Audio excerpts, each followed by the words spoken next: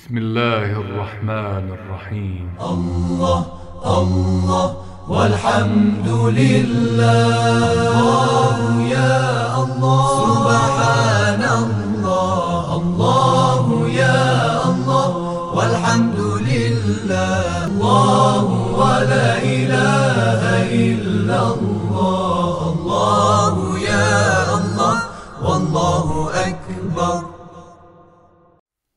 بسم الله الرحمن الرحیم الحمد لله رب العالمین و صلی الله علی محمد و آل الطاهرین و لعنت الله علی اعدائهم اجمعین الى یوم الدین کتاب شریف کافی قسمت 376 در تاریخ امام رضا علیه السلام و برخی معجزات آن حضرت حدیث ششم باب و مولد ابی الحسن رضا علیه السلام عن ابراهیم ابن موسی. قال الححت على ابي الحسن الرضا عليه السلام في شيء اطلبه من فكان یعدنی. میگه من اصرار کردم بر امام رضا علیه السلام در مطلبی که از ایشون میطلبیدم و چیزی از حضرت می‌خواستم و حضرت هم هی به من وعده می‌دادند که برام انجام میدن فخرج ذات یوم لیستقبل والی المدینه و کنت معه. حضرت یه روز آمدند از منزل بیرون که برن پیش والی مدینه و منم با آن حضرت بودم. فجا الى قرب قصر فلانن و رسیدن به نزدیکی فلان قصر فنزل تحت شجراتن زیر درختان بود حضرت نزول فرمودن و نزل تو معه انا ولیس معنا سالتون منم در خدمت آن حضرت نزول کردم و نشستم و شخص سومی دیگه با ما نبود. فقلت جعلت فدا. گفتم فدای شما گردن. هذا العید قد اضلنا. لا والله ما املک درهما فما سوا. گفتم آقا ببینید عید داره می‌رسه و به خدا قسم من یک درهم هم ندارم تا چه برسه به بیشتر. فحک به صوته الارض حکا شدیدا. حضرت با اون تازیانه خودشون زمین را به شدت کندند و ثم ضرب به فتناول منه سبیکتن بعد با دستشون حضرت از زمین یک شمش از طلا در آوردن ثم قال انتفع بها وقت ما رأید فرمودند که از این برای هزینه ها و زندگی خودت و مخارجی که داری بهره ببر و کتمان کن به دیگران. مگو که اسباب زحمت برای من و تو نشوند. حدیث هفتم ایاسرن الخادم و ریان ابن سعد جمیعا این دو نفر قال لمن قضا امر المخلوع واستوى الامر للمأمون كتب الى رضا علیه السلام یستقدمه یستقدمه الى خراسان. وقتی که امر اون مخلوع منقضی شد و تمام شد و امر برای مأمون شد نامه نوشت به امام رضا علیه السلام و از ایشان خواست که بیان به خراسان. حالا این مخلوع که هارون ملعون برای خودش سفارشات و وصیت هایی داشت که مثلا این قسمت شرق مملکت مال معمون باشد بعد از او و قسمت غرب مملکت مال امین باشه. و یه مقدارم باز برای فرزند دیگری برای اون بعد از اون مثل اینکه وصیت کرده بود به نام قاسم و اینها. و اینها بعد از پدر خلاصه با هم دیگه جنگ می‌کنن دعواشون میشه اختلاف پیدا می‌کنن و معمون میاد خلاصه بر این امین غالب میشه و امین وقتی که دیگه کارش سخت میشه و در تنگنا قرار می‌گیره خودش رو خلع می‌کنه. میگه آقا ما نخواستیم همش مال تو. ولی اون نمیپذیره و خودش یا سران لشکر میان و امین رو می‌کشن. بعد از اینکه حتی چه خودش رو از خلافت خلع کرد میاد و اینو میکشنش. بعد کار یکسره دیگه مال اون معمون می شود و از امام رضا علیه السلام می‌خواد که بیاد به خراسان. فعتل علیه ابوالحسن علیه السلام به علل. حضرت هم بهانه ها و ادله می آوردند و قبول نمی کردند که بروند به خراسان. فلم یزل فلم یزل المأمون یکاتب فی ذلك حتی علم انه لا محیش له و انه لا یکف عن. معمون هی اصرار و نامنگاری تا اینکه حضرت دیدن که دیگه هیچ راه فراری وجود نداره و او دست بردار نیست. فخرج علیه السلام و لعبی جعفر علیه السلام سبع سنین دیگه حضرت بار سفر رو بستند و امام جواد علیه السلام هفت ساله بودند. فکتب الیه المعمون معمون نامه نوشت لا تأخذ على طریق الجبل و قم. از راه کوهستان و از راه قوم نمی آیی و خود علا طریق البصرت و الاهواز و فارس. از طریق بصره و از طریق اهواز و طریق فارس می آیی. اگر از طریق جبل و کوه و کوههای مثلا خدمت شما عرض غربی مملکت مثلا فعلی ایران و شرق عراق اینها میمدن خب احتمال اینکه به جاهایی برسند و مردم اونجا ازشون دفاع بکنند و لشکریان خلافت هم نتونند بر اون مناطق تسلط پیدا کنند و از تحت اون تسلطشون محل بیرون بره. لذا جاهایی رو که خیلی راحت می‌تونن تحت تسلط خودشون بگیرند و حراست کنند و حضرت و تحت حفظ خودشون داشته باشن. انتخاب کردن علا ای حال یا به هر دلیلی که بوده و اینجا مثلا شاید مثلا توی قم مخصوصا یا مثلا توی کوفه و اینها حضرت خب خیلی هوادارانی شیعیانی شاید داشتن ولی از اون طرف که مردم این دوستان حضرت نبودند و جهات دیگه خلاصه این سیاست های شیطانیشون اقتضا کرد که حضرت را نزدارن از این راه بیان و گفتن از اون راه بران حتی وافا مرو تا اینکه حضرت به مرو رسیدن. فعرض علیه المعمون ان یتقلد الامر و الخلافه بعد که به مرو رسیدن معمون به ایشون عرضه داشت که امر خلافت را به عهده بگیرند. فعبا ابوالحسن علیه السلام. حضرت می‌دانستند که این یک قدری است یک خیانتی است. الان معمون آمده برادرش امین را کشته و بر طبق وصیت پدرش هارون عمل نکرده و به رسم و رسوم شیطانی و ظالمانی خود خلفای قاسب ملعون هم این آقا الان محکوم حق خلافت نداره.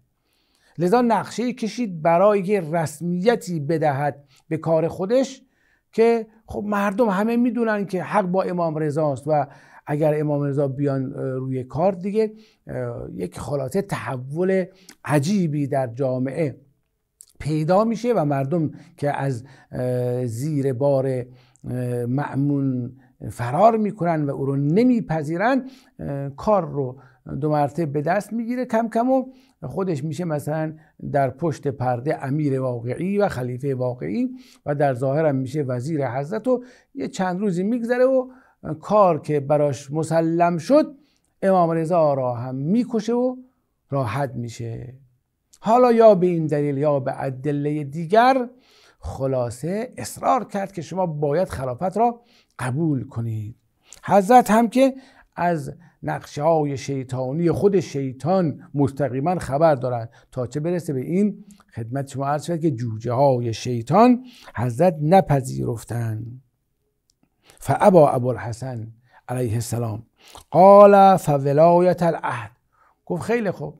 شما ولایت عهدی مرا بپذیرید. وقتی که ولایت عهدی رو بپذیره یعنی به طریق ضمنی پس خلافت معمون که دیگه نزد همه باطل شده است چی میشه؟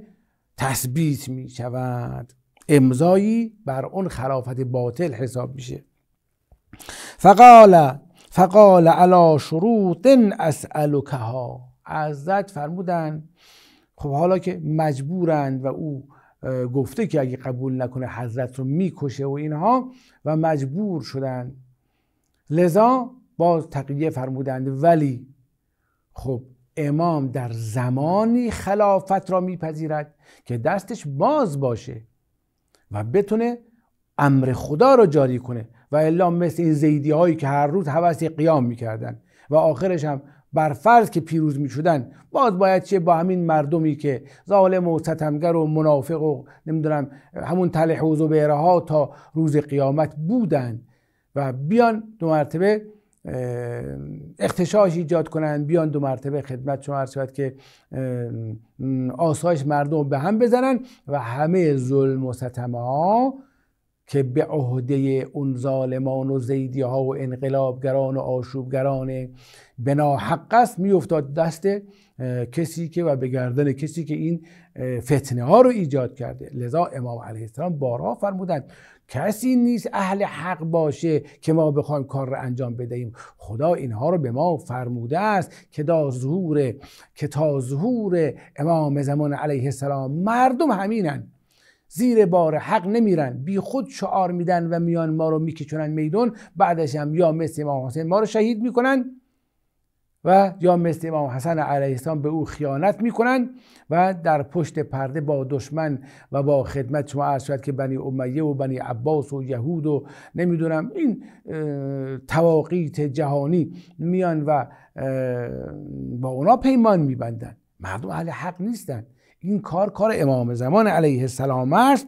اینجا حضرت فرمودن خب نمی‌خواد این کسافت کاری ها و این خدمت شما عرض که ظلم و ستماتون رو به گردن ما بندازید. اسم ما رو تو می‌خوای؟ خب منم تقیه خدا برایم واجب کرده. مردمم می‌دونن. من اگر ولد عدی رو تو رو بپذیرم مردم میگن بیا. اینم امام معصوم ولی وقتی من شرط کردم با تو گفتم حالا که زوره و اجباره در هیچ کاری دخالت نمی کنم هیچ قانون تو رو قبول ندارم. هیچ نمی‌دونم امیری که تو انتخاب کنی لشکری که تو درست کنه اصلا همه اینا به درد خودت می‌خوره. من زیر بار هیچ کدوم اینا نمیرم. همه مردم می‌فهمن تو بر باطلی من بر حق. یه شروطی داره. قال المأمون له سل ماشه معمون گفت ما از نفهمی و جهالت و نادانی مردم همین قدر برامون بسه که اسم ولی عد روی تو بذاریم.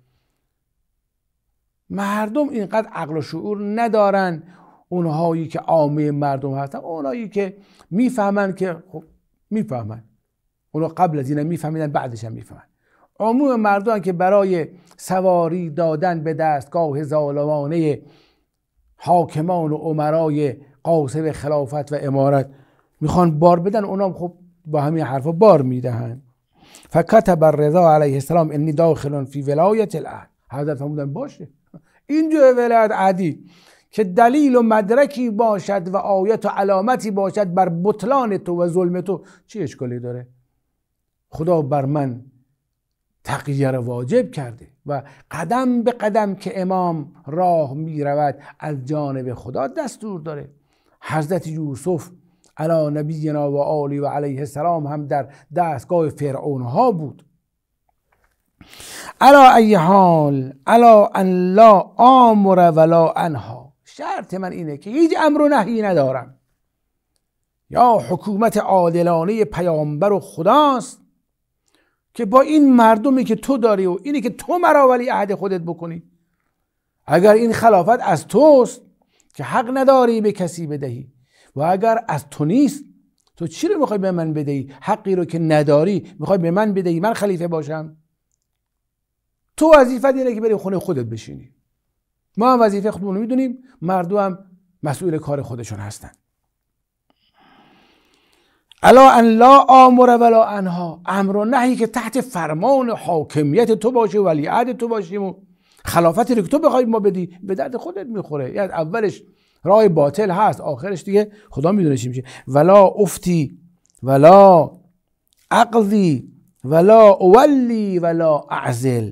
نه فتوایی می‌دهم نه قضاوتی می‌کنم نه کسی رو ولی و امیر قرار می‌دهم و نه کسی رو عزل می‌کنم. هر ظالمی هر کاری می‌خواد بکنه به گردن من نیست. اینو عزل کنم یکی بدتر از اون میاد جاش. دوران شما اینه این مردم همینن دیگه. کسی رو من اونجا بذارم هزار تا شرط و قسم به جا میاره که بله من عدالت من اسلام من مسلمین. خب ما که می‌دونیم پشت پردش با جای دیگه است. نباشد هم کار دست ساخته نیست. اونهایی که قالبند و از پشت پرده یهودی که این بنی عباس و بنی امیه و اینها رو آورده بودن کار خودشون رو محکم انجام دادن. نیومدن یک سقیفه ای را درست کنن و یک خلفای قرار بدن که اینا کار رو به عهده بگیرن. همیشه کنار اینها مأموران خود اون یهود و خائنان بودن که آن به آن اینا اگه تصمیم رو می‌خواستن عوض کنن همونجا چیه؟ نصف شب می‌کشن اینها رو. دستگاه سیاست و شیطان پرستی و حاکمیت شیطان در دنیا حواس جمعه که چی کار بکنه؟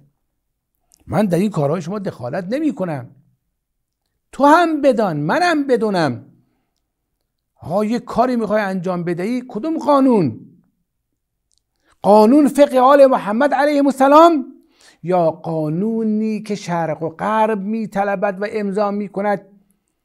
و مجلسی که یک دختر و پسر و نمی‌دونم خدمت باشه مرد غیر مجتهد و غیر عالم به فقه آل محمد علیه السلام اونم با نظر دادن و رأیگیری و مگر حکم خدا با رأیگیری و تعداد اکثریت اینا شناخته میشه؟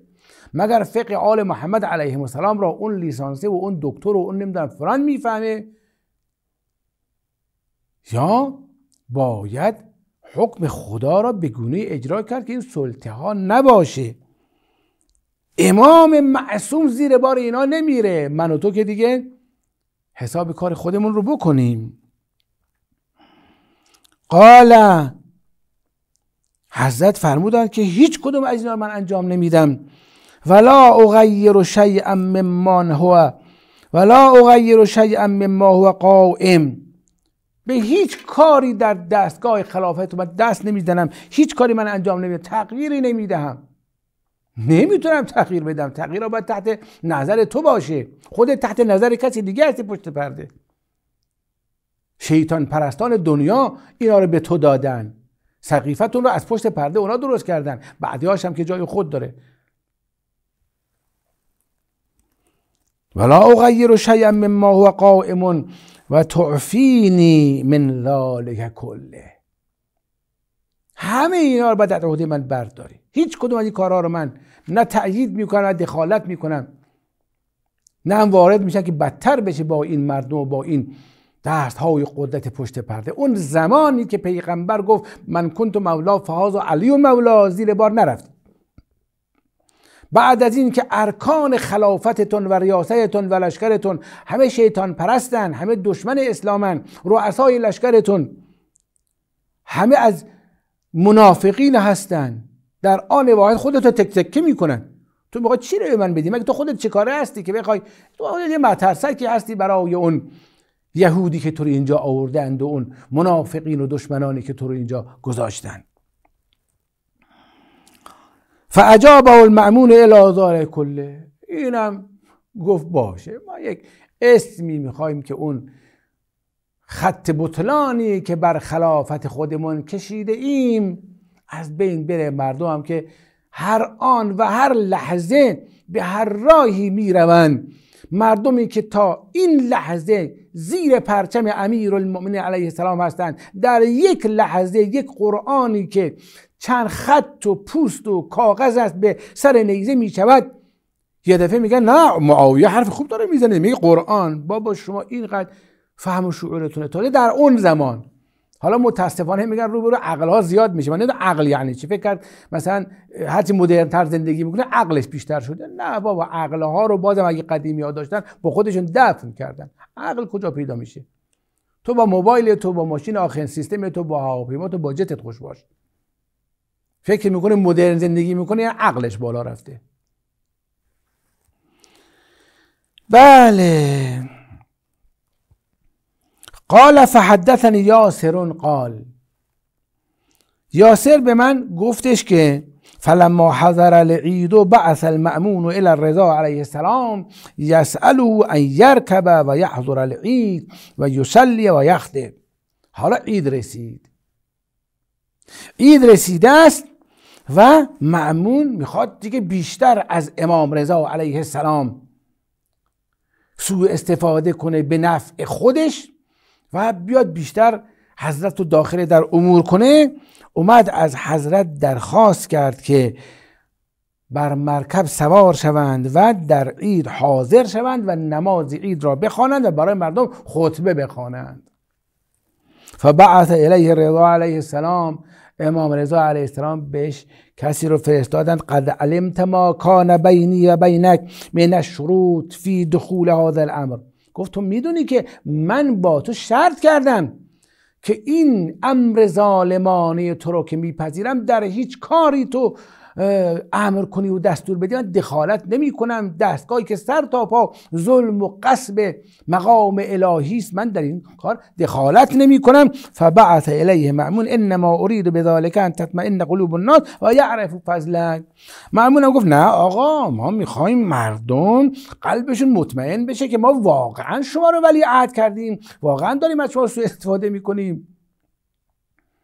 این مردم دلشون راحت بشه آرام بشه محکم بشه فضل شما را ببینن. فضل شما را ببینن. خیلی واقعا راست میگه فلم یزل علیه السلام یراده الکلام فی ذالک فالح علیه. پیوسته حضرت گفتن نه اون اصرار کرد. حضرت فرمودن نه اون اصرار کرد. اونقدر اصرار کرد فقال یا امیر المؤمنین ان اعفیتنی من ذالک فهو احب الی. گفتش که ای امیر المؤمنینی که به تو ایمان دارند و به باطل و شیطان. مرا معاف از این امر بدار. این برای من محبوب تر است که تو مرا از این کار معاف کنی و لم تعفنی خرج تو کما خرج رسول الله و امیر المؤمنین علیهما و آلهم السلام. اگه من بخوام بیام در کار دخالت کنم دیوان و رأی و نظر و فکر و اندیشه و قانون و سپاه و لشکر اینا نیست ها. من بیام مثل پیغمبر و امیر المؤمنین نماز می‌خوانم. این بدبخت بیچاره هم که نفهمید خودش رو تو چی چاه و چی باطلاقی داره میندازه فقال من اخرج کیف شد آقا هر کار می‌خوای بکنی بکنی. این مردم نفهمتر و بیشعورتر از آنن که متوجه بشن شما داره چیکار می‌کنی خودش هم نفهمید تازه. بقیه مردم که جای خود داره. و امر المأمون القواد و الناس ان یبکروا الى باب ابی الحسن علیه السلام. این معمون هم خیلی خوشحال شد که دیگه بله داریم خلاصه پایه خلافت رو بیشتر تثبیت می‌کنیم و محکم می‌کنیم. تمام لشکریان و سران لشکر و مردم را همه را دستور داد که فردا همتون اول صبح می‌دید در خانه امام رضا علیه السلام تا زمانی که حضرت اراده کردند اومدن بیرون با جلال و عظمت و با شکوه حضرت رو بیار یه نمازی برای تأیید ما بخواند که این نماز خیلی تأیید ما می‌شود. وقتی چندین هزار بیان و خلاصه بگن اینها داره ولیعهد معمون برای اینا نماز می‌خونه. پس خود معمون دیگه خیلی خیلی آدم خوبیه.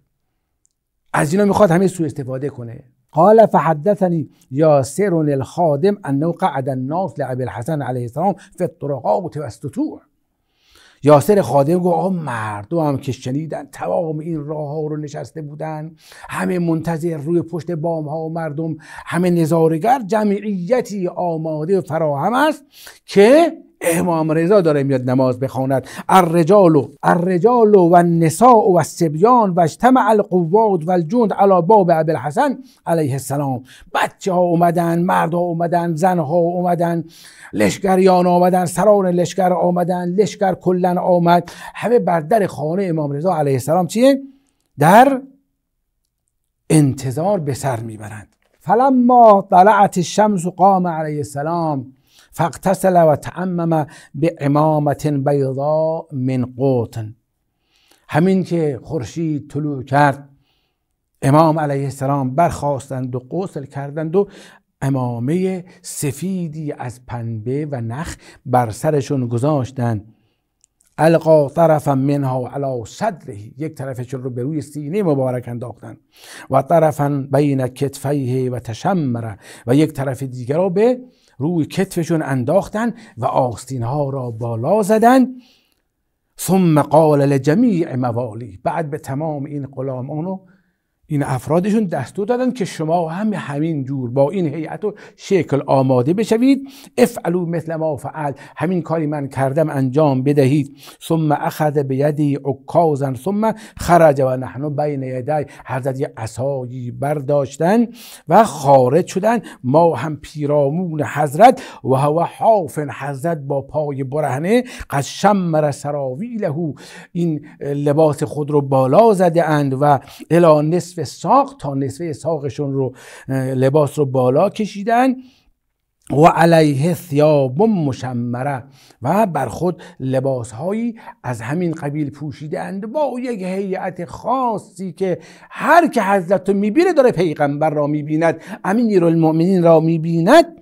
فلما مشا و مشینا بین یدی همین که حضرت راه افتادن ما هم گرد تا گرد حضرت داریم راه میفتیم رفع رأسه الى السماء و کبر اربع تکبیرات به یاد فرج امام زمان و نمازی که امام زمان علیه السلام ان الله در اسرع وقت بخوانند حضرت سرشون رو بالا کردند و چهار تکبیر گفتند. الله اکبر!